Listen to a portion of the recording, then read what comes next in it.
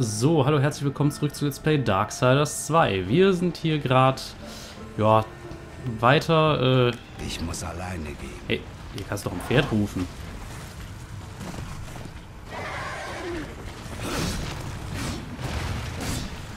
Wir werden weiter von Gegnern behagt. Die aber nicht wirklich nennenswert sind. Von da aus kommen wir, glaube ich. Aber wir sehen uns trotzdem überall ganz detail, äh, detailliert um. Oh, wieder weggekrittet. Also die Schläge vom Pferd sind schon sehr hart.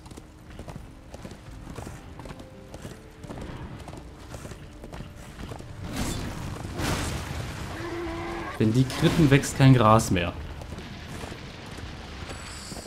Und sie geben immerhin Gold. Die Gegner. Also für Gold kriegen wir auch neue Moves, neue Items. Kann man sich nicht beschweren. Und das ist auch irgendwie ein cooles Gefühl mit so... Wie, ich habe dem... Ach so, der ist gerade wieder auf dem Weg zu seinem eigentlichen Weg. Hat er mich da einfach vom Pferd gesäbelt, der Kerl. Dafür setzt es aber was. Hat die Leute sich hier alles trauen? Einfach einen apokalyptischen Reiter vom Pferd zu prügeln?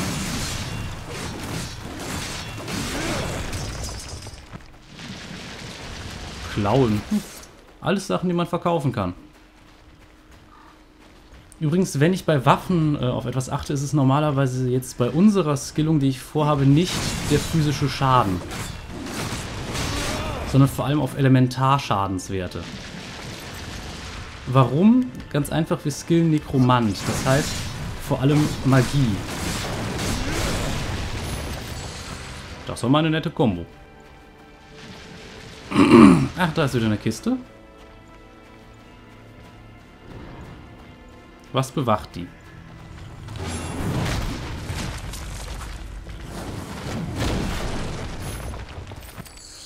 Ja, Tod hat schon einen harten Schlag am Leib.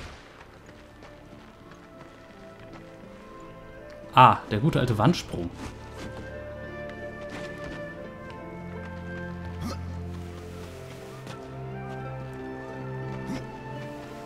Man kann ja von Tod sagen, was man will, aber klettern kann er. Geht's hier irgendwo? Ach, hier geht's hoch.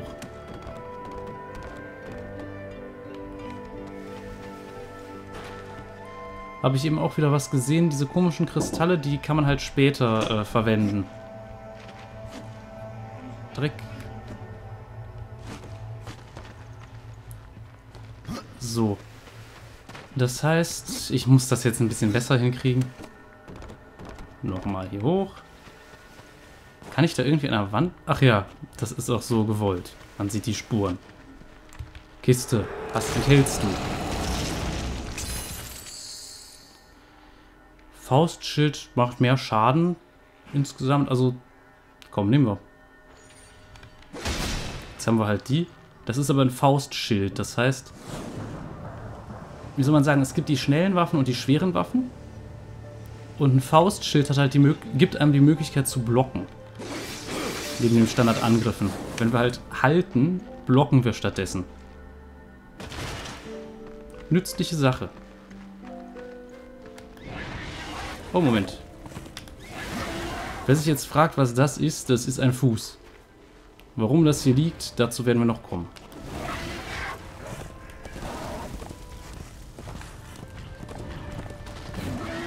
Ich glaube, ich demonstriere mal kurz den Faustschild und wie man damit blockt. Hoppla, jetzt war ich nicht schnell genug. Ach. Danach hauen wir auch zurück, wenn wir was erfolgreich blocken, glaube ich. Das Problem ist, wir können diesen harten Angriff nicht direkt blocken.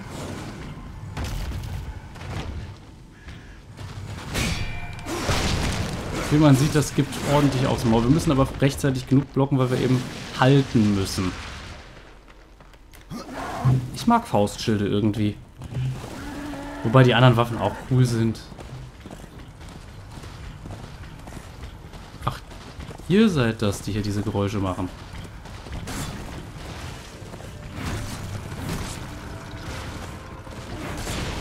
So, schon wieder einer hin weiß nicht, man kann die, glaube ich, auch mit Ruin, äh, Ruin sage ich schon, mit Verzweiflung einfach überrennen. Aber das wäre ja langweilig. Ich schau mal kurz, was passiert, wenn wir mit Bums rennen. Mir ist nichts passiert. Dann habe ich mir das eingebildet. Dann war das falsche Erinnerung.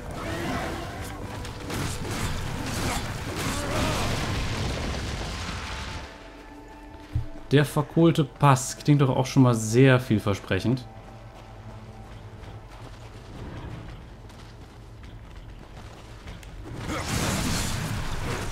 Aber die Gegner werden echt nicht stärker. Die ganze Zeit Level 2.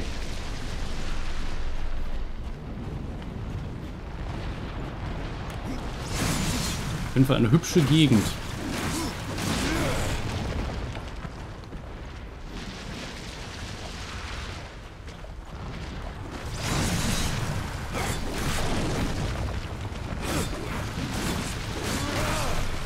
Ach, der lebt noch. Ändern wir.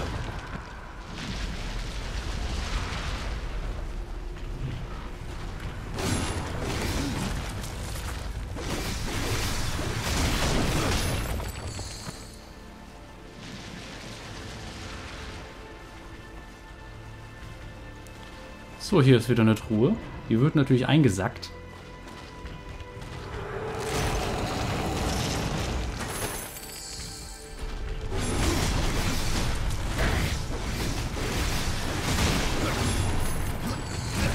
Toll, habe ich den nur nach hinten gedrückt.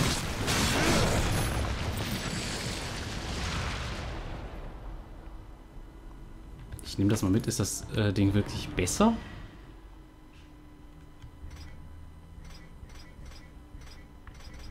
Das Ding hat ja nur Schaden. Die anderen haben noch zusätzliche Sachen. Ich glaube, ich nehme die üble Keule nochmal zurück und...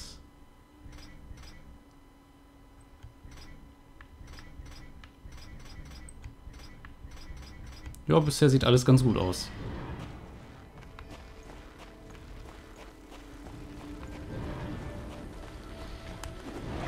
So,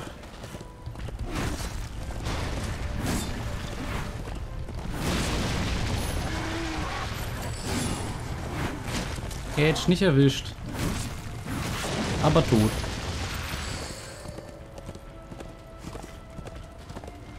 Wir könnten mal den Weg hier lang gehen, weil der auch nicht zum Ziel führt. Okay. Oh, hoppla, falsche Taste. So. Hm. Ich muss mich noch ein bisschen an die Steuerung gewöhnen, habe ich das Gefühl. Komm, setzen wir die Bude ein. Die machen nicht viel Schaden, aber sie lenken Gegner ab.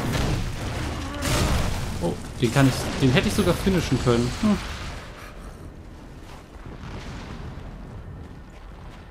Gehen wir mal hier lang. Das ist jetzt interessant, wo das hinführt. Ich meine, hier kommen wir doch nicht her, oder?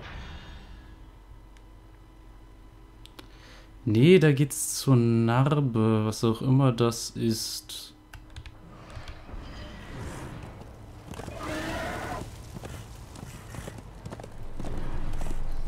Ah, hier liegt ein Arm, glaube ich.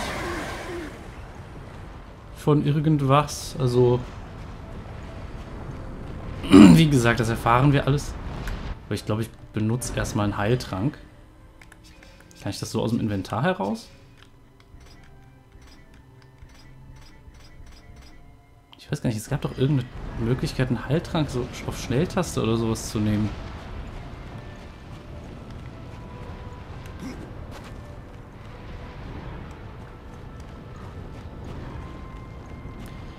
Ich bin zu blöd dafür. So, meine Herren, wir spielen dieses Spiel ohne Heiltränke. Nee. Keine Sorge, wird nicht passieren. Ich werde schon irgendwie eine Möglichkeit finden.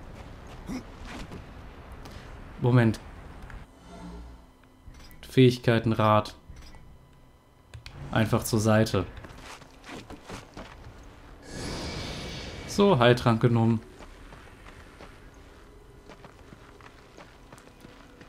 Und hier geht's dann wohl irgendwie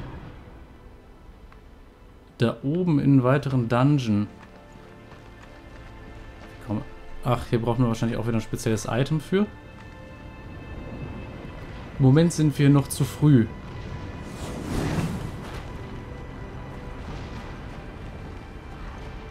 Liegt hier irgendwas hinter? Nö. Dann mal wieder zurück. Ich werde wahrscheinlich in diesem Spiel so viel übersehen, das glaubt ihr gar nicht. Aber es gibt ein paar sehr schöne optionale Gebiete oder Bosskämpfe und so weiter. Die werde ich mir jedenfalls nach Möglichkeit nicht entgehen lassen.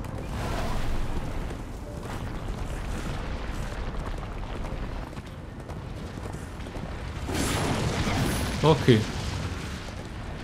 Da wollte uns eine verplätten, aber wir waren schneller.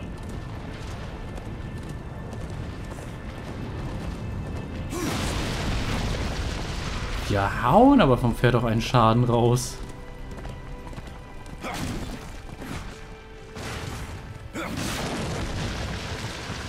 Ja, das ist für die Gegner echt nicht feierlich. Ach, hier geht's auch hoch. Epic Loot. Moment, das war so, genau.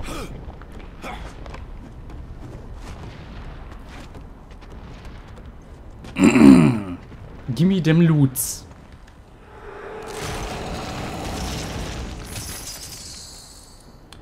Sense des Feuers. Wie viel Schaden weniger macht die? Hoppla. Chaos Fang macht ordentlich mehr Schaden und Chance auf kritischen Schaden 20% und kritischer Schaden 200% mehr. Da ist der Feuerschaden für uns eigentlich relativ uninteressant. Also den bewahren wir auf für eine... Ähm, also die werden wir nicht direkt verkaufen, weil wir das für eine das für ein besessene Waffe gut brauchen können. Aber im Moment ist das noch relativ nutzlos für uns.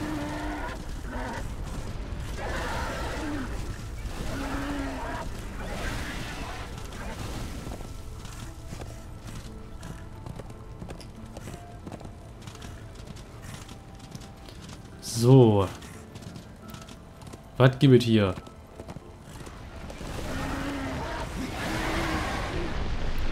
Ah, sind wir schon im guten Punkt? Ach, hier ist jemand ganz Bestimmtes.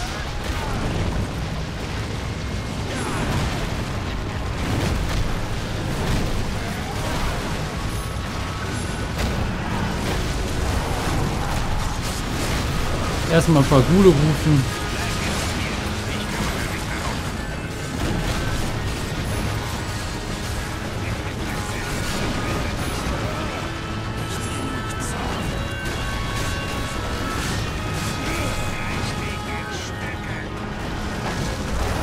Ich rufe dabei einfach mal die ganze Zeit Kuhle. Oh. Es ist wahr. Ein Reiter ist ins Reich gekommen. Hm, nicht noch einer. Du bist ein Nephilim, trägst den Namen Tod. Wie bist du hierher gekommen? Ich bin falsch abgebogen. Wie es scheint, bin ich hier mit euch gestrandet. Wenn du den Kessel suchst, solltest du wissen, dass er vor langer Zeit dem Verderben anheimgefallen ist. Tief in der Erde kann ich aber noch das Feuer brodeln spüren. Ich werde es versuchen. Wer bist du überhaupt? Du bist anders als die anderen. Deine Augen sind weniger freundlich. Das gleiche könnte ich von dir sagen. Die Leute hier nennen mich Bub oder Junge. Aber ich bevorzuge meinen echten Namen. Karn. Dann also Bub. Wie du willst. Ist mir egal. Schamanen können es auch. Eure Schamanin hat mir einen Talisman angeboten, wenn ich ihr die Materialien dafür besorge. Dann ist es klug von dir, sie ihr zu bringen. Ihre Arbeiten sind sehr mächtig. Wo finde ich Pirschknochen? Pirsche streunen im Kessel umher. Sollte eine einfache Aufgabe sein, wenn dein Name etwas bedeutet. Warum entfacht ihr das Feuer nicht selbst wieder? Zu genau diesem Zweck bin ich hierher gekommen. Hab mir gedacht, ich ziehe den Korken und bin der Held. Aber der Kessel ist ordentlich versperrt. Der Weg dorthin vom Feuer verschluckt. Du siehst jedoch fähig aus. Vielleicht findest du einen Weg. Ich warte hier und bewache den Eingang. Sag mal, wenn du da reingehst, würde es dir was ausmachen, etwas für mich zu tun? Ja, würde es. Tue ich nicht bereits genug? Vielleicht. Jedoch scheint es mir, dass du nicht genug für dich selbst tust. Oder wenigstens von einer Nebenwirkung profitierst. Nun, wenn es nicht zu viele Umstände bereitet. Ich habe eine alte Metallschale dort zurückgelassen, mit dem Bild von zwei Hämmern in der Mitte.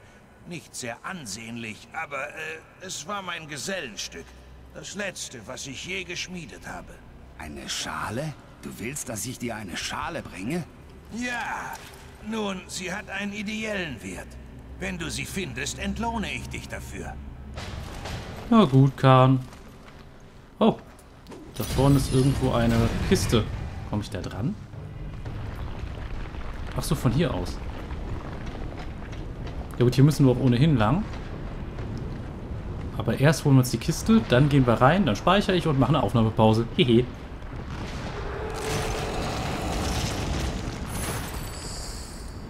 Stiefel. Hm. Nichts Besonderes. So, dann gehen wir hier mal rein.